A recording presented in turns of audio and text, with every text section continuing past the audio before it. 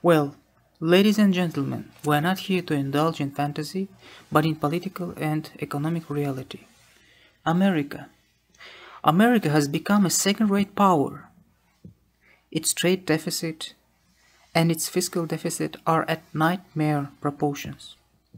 Now, in the days of the free market, when our country uh, when our country was a top industrial power, there was accountability to the stockholder.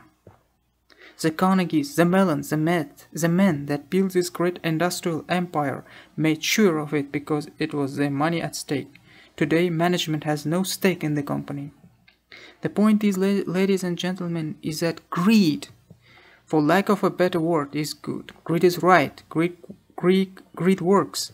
Greed clarifies, cuts through, and captures the essence of the evolutionary spirit. Greed in all of its forms, greed for life, for money, for love, knowledge, has marked the upward surge of mankind.